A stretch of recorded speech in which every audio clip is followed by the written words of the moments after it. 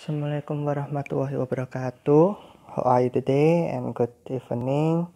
I hope you in good condition and happy situation. Selamat malam untuk adik-adikku kelas 9A yang saya cintai. Hari ini karena kalian sedang libur dan juga karena kita akan menggunakan metode online. Jadi untuk hari ini kita akan belajar bersama melalui YouTube ya. Dan for today uh, we will learn about present perfect tense. Silakan nanti dibuka bukunya, buku Erlangganya yang besar. Uh, sebelumnya, sebelum nanti kita akan belajar, silakan nanti adik-adik komen di kolom komentar untuk daftar kehadiran. Silakan komen di situ siapa yang sudah hadir. Dan setelah itu nanti jika ada pertanyaan, ada kritikan dan saran silahkan juga dimasukkan ke dalam komentar ya seperti itu. Ya untuk present perfect tense mungkin adik-adik sudah pernah diajarkan di sekolah tentang present perfect tense dan ini penguatan saja untuk hari ini. Kita akan mulai bahas untuk present perfect tense ya. Sudah siap? Oke. Present perfect tense.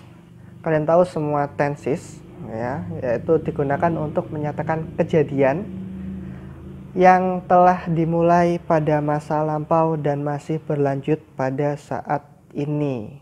Jadi present perfect tense itu yakni kegiatannya sudah masa lalu tapi masih berlanjut sampai saat ini atau telah selesai pada waktu lampau tetapi efeknya masih kita rasakan sampai saat ini. Seperti itu ya untuk present perfect tense. Bagaimana cara kita untuk membuat atau bagaimana kalimat present perfect tense itu? Di dalam bahasa Inggris tentu ada rumus untuk tenses ya, untuk e, mempermudah kita mempelajari tenses. Untuk present perfect tense, rumusnya adalah subject plus have atau has plus verb 3. Ya. Subject itu terdiri kalau adik-adik lupa atau belum tahu, subjek itu ada I, you, they, we, he, she, it. Oke. Okay. Kalau kita selalu mempelajari adalah ayu dewi, ya kan. Di situ di bawah sendiri ada notebook untuk ayu dewi, ayu dewi kita memakai have dan untuk he, she, it kita memakai has. Jadi rumusnya nanti subject plus have atau has plus verb 3 atau verb 3. Kalau I memakai have, you have, they have, we have.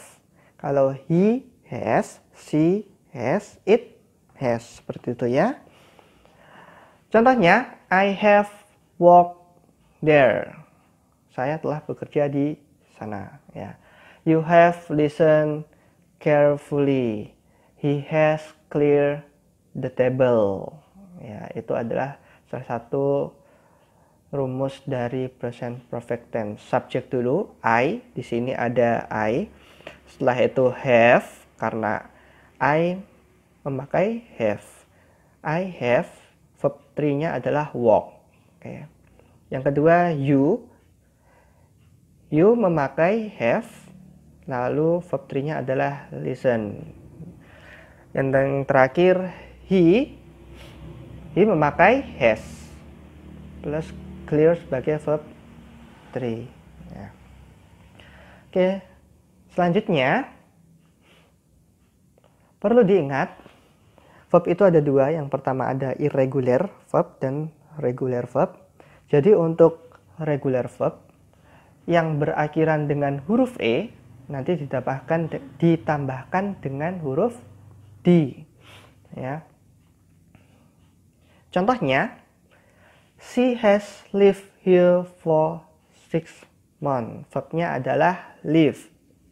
Ya untuk live nah, she has lived ini live verb satunya adalah live ya. Live eh, berakhiran dengan huruf e jadi ditambahkan di jadi artinya nanti dia telah tinggal di sini untuk 6 bulan. Ya. Terus yang kedua ada have close. close kita tahu close menutup ya berakhiran dengan huruf i. Nah, jadinya they have closed the door tambahkan di. Ya. Artinya mereka telah menutup pintu. Dan selanjutnya ada decide. Verb satunya decide, verb tiganya adalah decided ditambahkan di. We have decided to rent a house. Kita telah memutuskan untuk menyewa sebuah rumah. Ya. Yang selanjutnya untuk diingat lagi untuk regular verb yang berakhiran dengan huruf Y dirubah menjadi I. Jadi huruf Y-nya dirubah menjadi I. Contohnya, I have supplied him for two days. I have supplied him for two days. Saya spy dari kata kata SPY, spy, SPY. Jadi Y-nya diubah menjadi I, jadinya spied. I have spied him for two days. Artinya saya telah memata-matainya selama dua hari. Yang kedua, study. And they have studied abroad for three years. Mereka telah belajar di luar negeri selama tiga tahun. Study dari kata study S T U D Y. Study. Jadi diet. Y-nya diganti I. Oke, dari sini mungkin ada yang kurang paham atau nanti ada yang belum jelas, silakan nanti diputar kembali videonya atau dimasuk eh, atau silakan berkomentar di kolom komentar nanti. Apa-apa. Oke, kita selanjutnya di present perfect in negation atau bahasa kerennya negatifnya present perfect. Bagaimana kita tahu negatifnya present perfect? Sangat mudah sekali. Rumusnya adalah subject plus has atau have plus not plus verb 3. Jadi hanya tinggal menambahkan not setelah have atau has. Ya, contohnya I have not gone to Yogyakarta She has not listened to her mother. They have not slept well for a week. Ya. Jadi setelah have ditambahkan not. She has tambah not. Dan verbnya tetap, tetap verb 3. Oke. Itu adalah rumus yang negatif. Untuk interrogatifnya atau present perfect in question Ya, rumusnya seperti ini. Has atau have diubah menjadi dirubah ke depan. Jadi has atau have plus subject plus verb 3. Seperti ini. Has he quit his job yet? Quit, quit his job yet? Have you paid your bill? Has he become a famous idol? Ya, jadi have atau has-nya dulu. Ini has lalu subjek lalu verb 3 have baru subjek dan verb 3 oke bagaimana adik-adik? Sudah paham? Ya. Kalau sudah ya ini ada quiz untuk kalian semua. Silakan nanti ditulis lagi boleh atau langsung dijawab juga boleh kira-kira nanti dapat 100 atau enggak kita lihat nanti oke Kuis yang pertama, silakan translate to English. Ya, jadi dari bahasa Indonesia silakan ditranslatekan ke bahasa Inggris. Yang pertama, saya dan Dilan telah kenal satu sama lain sejak 2008. Yang kedua, kita telah tidak melihat film Titanic selama dua tahun. Ketiga, pernahkah kamu melihat sepak bola? Keempat, Rudi telah bertemu presiden. Dan yang kelima, harga rumah telah meningkat sedikit. Ayo.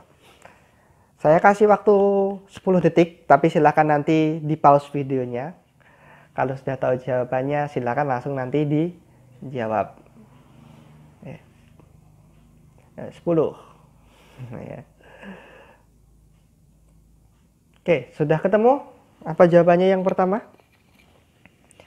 Saya dan Dilan telah kenal satu sama lain sejak 2008. Ayo, apa jawabannya? Saya dan Dilan nanti diubah menjadi bahasa Inggris. I and Dilan. Telah kenal tadi. Kenal berarti bahasa Inggrisnya adalah apa? Ya. Sudah tahu? Oke. Kita buka jawabannya. Yang pertama, saya dan Dilan telah kenal satu sama lain sejak 2008. I and Dilan have known each other since 2008. Ya. Gimana? Ada yang benar atau ada yang kurang tepat? Ya. Yang kedua, kita telah tidak melihat film Titanic selama dua tahun.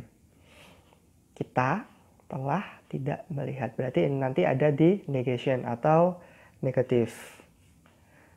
Ya. Jawabannya, we have not seen Titanic movie for two years ya yang ketiga pernahkah kamu melihat sepak bola nah di sini ada tanda tanya berarti ini interrogative has atau have di sini ada kamu kamu bahasa Inggrisnya you berarti nanti memakai have oke jadi jawabannya adalah Have you ever seen football? Ya, pernahkah pernah itu kan bahasa Inggrisnya ever. Ya, ever. But Rudy telah bertemu presiden. Ya. Nanti bahasa Inggrisnya adalah present perfectnya Rudy have met the president. Oke. Okay. Yang terakhir, harga rumah telah meningkat sedikit Nah, meningkat itu apa ya? Meningkat. Ada yang sudah tahu? Ada yang sudah menjawabnya? Oke, kita lihat. House prices, house prices have increased a lot. Ya. Jadi harga rumah itu house prices have meningkat bahasa Inggrisnya adalah increase sedikit a lot. Ya. Bagaimana untuk persen perfect quiznya ada yang betul semua atau ada yang kurang tepat atau ada yang belum mengerti nanti silakan langsung jawab di kolom komentarnya ya. jadi untuk hari ini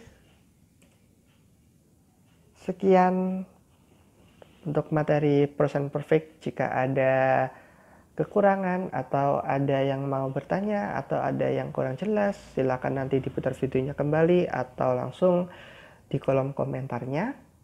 I think that's all for today if I make a mistake I'm sorry. Wassalamualaikum warahmatullahi wabarakatuh